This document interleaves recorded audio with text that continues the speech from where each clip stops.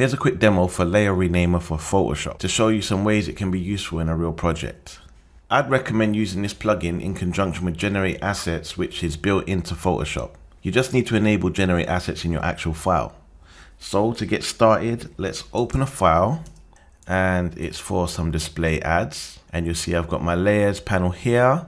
When you first install it, you'd go plugin, layer renamer for Photoshop, uh, a plugin installed. So the first step is to enable generate assets. And you can do this by going file, generate image assets. Now, nothing happens on screen, but if you go back to your file, you will see that an assets folder gets automatically created in the same location as your file. If you go into this assets folder, there normally wouldn't be anything in here, um, but you can see we have this computer image and an errors file. And this is because the artwork that I've imported already has some layers that have a JPEG extension. So here, right? This computer image I switch it off and on, has been brought in from another file when the artwork was being created and it has a JPEG extension. So the first thing I'm going to do is remove unwanted file extensions and you can do this with the plugin. So you can select, uh, I can click remove file extensions. I can command click another layer of interest, do the same thing. And there's another one here. So computer, I can remove extensions. So if I save this, and go back to my assets folder, you can see there's nothing in there now. Right, so the first thing I'm going to want to do in this example is create some preset buttons as I need to name the text for each of these different variations with the same name. I don't want to have to type it more than once. So first thing I'm going to do is I'm going to have text one. You can either press add or you can press return to add these. I'm to have text two. I know I need device and I know this is gonna have a logo. So I'm gonna add these presets.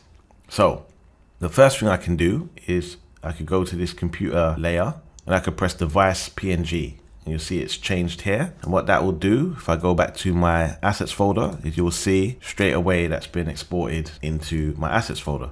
And this is the whole point of using this plugin with generate assets so I'll quickly go through and show how I would use this in a real project.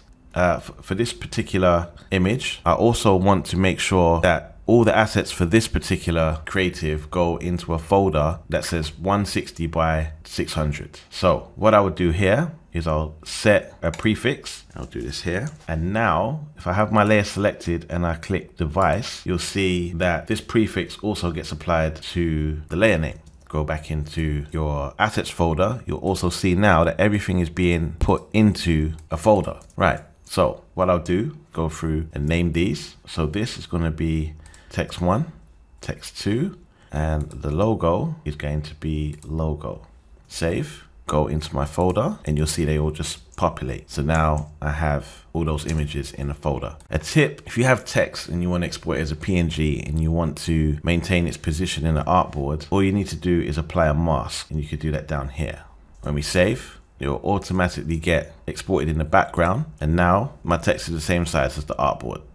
The next thing to show is that you can also rename your artboards. So another useful thing is say you just wanted to export all of these artboards. You can select one, press JPEG, select another one, press JPEG, select another one, press JPEG, and you'll see that these are now being exported in the folder as well. If you wanted to modify some of these artboards, you wanted to append something at the front of them, you can also do that by selecting the artboard and say I do 50% space and add you'll see that's been appended here. Go here, add it. And what that will do is it will export those particular frames at 50% of their default size. So that's one way you can use the uh, add to layer name settings.